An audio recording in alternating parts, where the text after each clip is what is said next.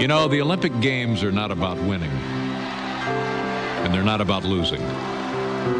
They're about hope, they're about families, they're about riding mowers, they're about office supplies, they're about plates of steaming hot meatloaf, they're about a monkey washing a cat. The Olympic Winter Games return to CBS.